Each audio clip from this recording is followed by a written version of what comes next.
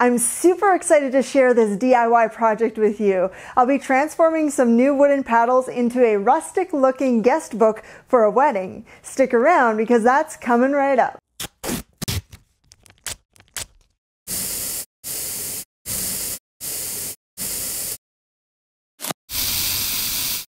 Hey, I'm Deanna. Welcome to my studio.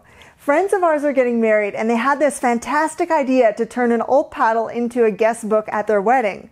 I absolutely love this idea and am thrilled they asked me to help them create it. They searched locally for a used paddle that had some rustic charm, but unfortunately couldn't find anything that was just right.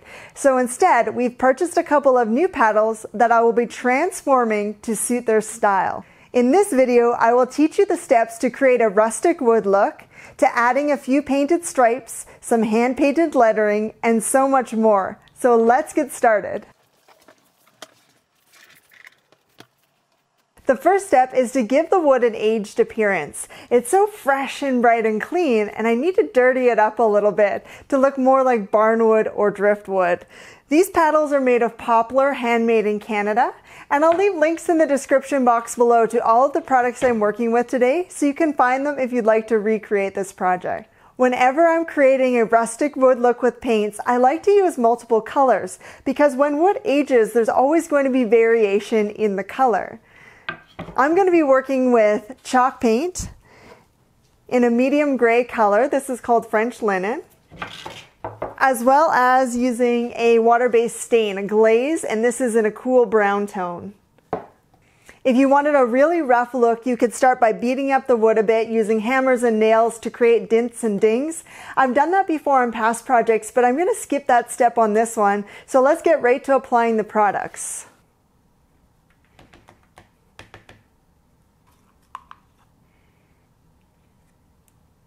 I've got a little bit of each project scooped out on my tray. You can see here that the stain is a little bit runnier.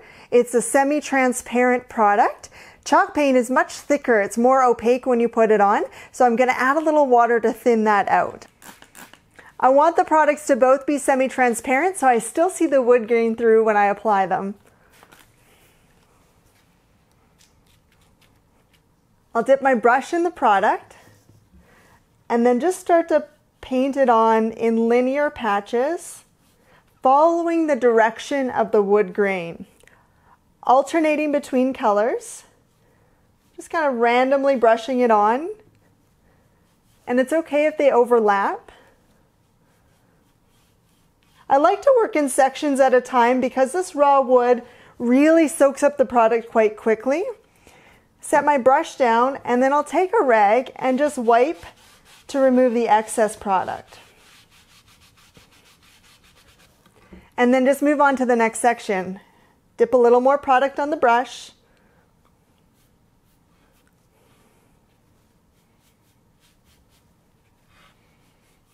Alternating between the colors. And if you want this section to be a little bit more variation, you could add a little water, thin the product even further and then go ahead and wipe it back.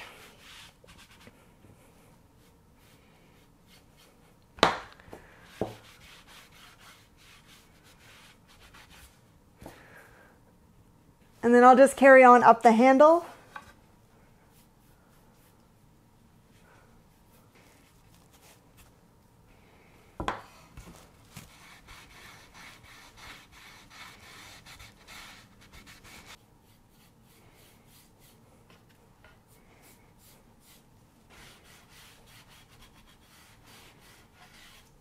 I finished applying my product to both sides of the paddles.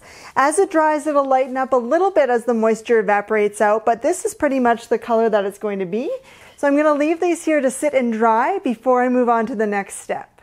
The paddles have been sitting for about an hour and they're now completely dry, so I'm ready to move on to step number two, which is the painted stripes. I'm going to be using some low tack painter's tape to mask off sections. And if you need help with spacing, you could always use a ruler to measure it out. And I've got a photo here of the design so I can reference it as I'm taping the stripes. Start by tearing off a piece of tape. Press it into the wood and firmly press the edge where the paint is going to go. Because I want the design on both sides of the paddle, I'll flip it over and continue to press the tape on the back side. Because my stripes butt up against each other, I'm going to be doing this in stages. For now, I'm just masking off every other section.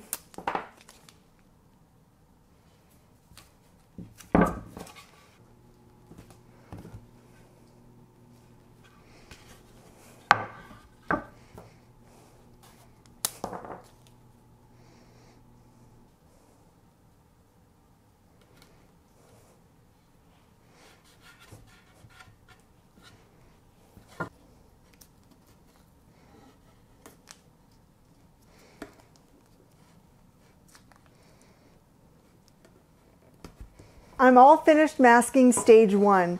Once I got going, I very quickly realized that these handcrafted paddles are not perfectly even, which is part of their rustic charm, but it did make it a little bit tricky to get the tape even. I wanted both of the paddles to have the same pattern, so it did take a bit of time to try and line them up. In the end, they're not going to be identical, but pretty darn close. Now, I'm not going to worry too much if a line is wobbly or a little paint does bleed underneath, because I will be distressing wearing away some of the paint later on to give it a little bit more of a rustic feel. So for now, I'm good to go with painting my first colors. I'll be starting with the spaces here in between the tape. Once that dries, I'll switch the tape over and paint the alternate sections.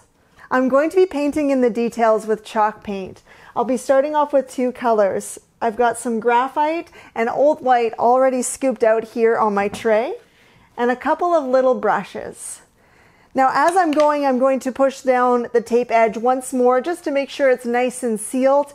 And to help prevent bleed through, there's a couple of different options. When I'm brushing, I can do a pouncing or a tapping motion. Or if I do want to brush back and forth, I'll just go along the tape edge. If you go back and forth the tape edge, sometimes it causes the paint to press underneath, and that's the bleed through of the paint that we're trying to avoid. Dip your brush into the paint and you can tap a little of the excess off so there's not too much on the brush. And then just start with the first section. Rub down the tape edge. And again, with a pouncing or a soft back and forth motion, Start to paint in the color.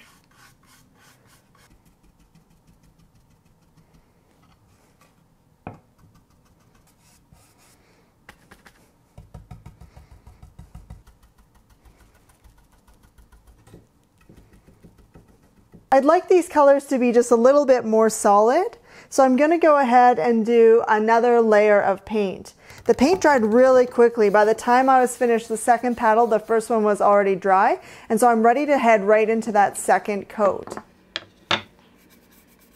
The second coat was also dry to the touch within 30 minutes, but I let it sit a little bit longer because I wanted to make sure that it was dry all the way through.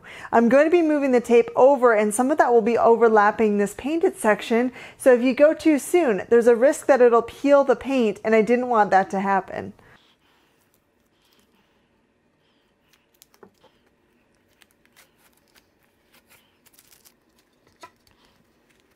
I've got two more stripes to paint on each paddle. One is going right here above the white stripe and the other will land right in between the graphite and old white. It's going to be this lovely teal color that I've mixed up. It's a combination of Napoleonic blue and Amsterdam green chalk paint, and I've created this color to match some of their bridal party colors.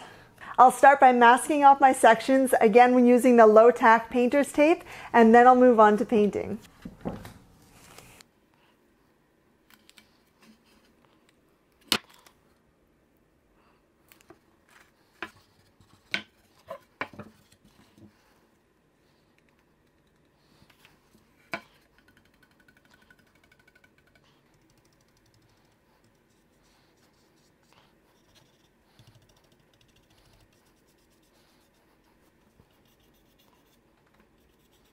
And to add a little bit of tonal variation, I'm going to dry brush on some Napoleonic blue just right on top of these sections.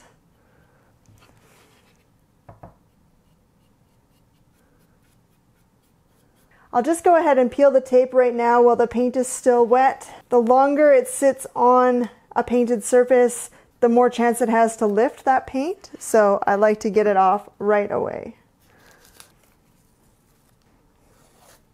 I've finished painting the stripes and now I'm ready to add the custom lettering. If you had a stencil cutting machine, you could cut a piece of vinyl and use that to put the stencil on, but not everyone has one of those machines. So I wanted to show you an option that was a little bit more accessible.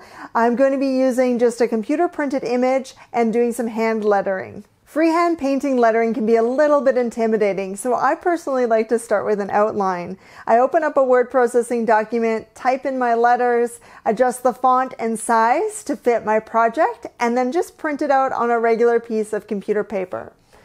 I've got my design here cut into two pieces, one for each of the paddles, and I've just sized it about four inches wide to fit the space. And I've cut it out here just to make it a little easier to see the design and line it up on the paddle. Using a graphite stick or even just a regular pencil, flip the paper over so the back side is facing up, and then take the graphite and just shade completely the entire back side of the paper. You could also shade the back with white chalk if you are working on a really dark surface. Then take the paper and flip it back over and align it up. Once you have your alignment, take some painter's tape and tack it into place. So the next step is to take a ballpoint pen or something with a sturdy tip and then just trace the contours of your design. You'll want to trace both sides of the letter and press firmly. As you're doing that, the graphite on the back side of the paper is going to transfer onto the paddle, and depending on how hard you push, you might get a slight impression from your pen.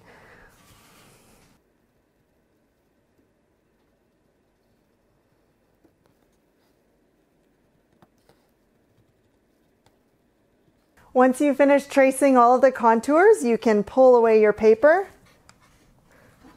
to reveal the outline. Since my lettering has a lot of thin lines and curves, I'm chosen a small round pointed brush to paint in my lettering and I'm going to be using Old White. It's the same white color that I used here in chalk paint for the stripes. I'm going to add just a little bit of water to the paint to thin it ever so slightly and that's going to help it to flow a little better on my brush. Because I'm right-handed, I'm going to start on the left side and paint my way to the right side so that my hand's not rubbing in any wet paint. Also, while I'm painting, I'm going to keep my hand grounded. So either on the paddle or on the table and that way it gives me a bit more control. It's so much easier to control with your hand grounded than all loose in the air. It's much more wobbly. Get a little bit of paint onto the tips of the bristle. Just start with a little. You can always add more as you go. Too much paint and you might make a heavy blob, which I'm trying to avoid. Grounding my hand on the paddle and I'll just start to fill in the outline. I usually do one thin pass. And then I like to come back and add second pass to thicken up the areas that are a little broader. Dip more paint on your brush as you need it. And just like the stripes, this might require a second layer, so don't worry if it's not super solid right at this point.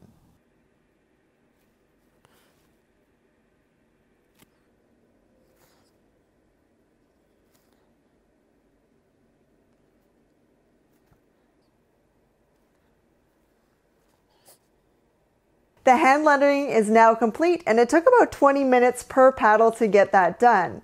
Some areas did need a second coat, but because I'm going to be distressing it, I kept that in mind and I wasn't too worried if everything wasn't 100% opaque. My next step is to lightly sand away some of the paint, giving it more of a distressed or rustic look, and then I'll be finishing this project by applying a sealer. Using light pressure and my fine grit sandpaper, I'll wear away some of the paint, trying not to wear all the way through the stain back to the bare wood, but if it does happen, I've got some more stain and I can always add more, so no stress, just a lot of fun.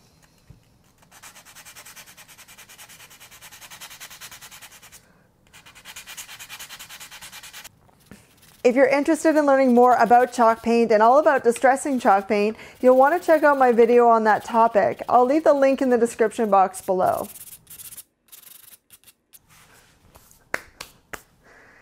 You may have noticed that as I was sanding, the paint got a little scratched up and dusty looking.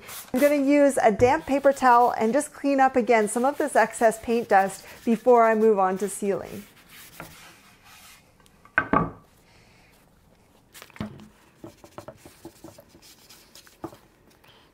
I've chosen General Finishes Flat Out Flat for my top coat.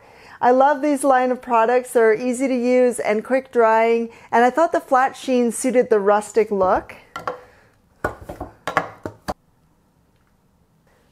Dip your brush into the top coat, wipe away the excess, and just brush on long linear strokes following the wood grain. Try not to overwork the product. Back and forth a couple of times is okay and just watch for any drips or runs that might happen on the edges. I'm starting with the back side. I'll let it dry a little bit and then when it's dry, I'll flip it over and do a layer on the front side.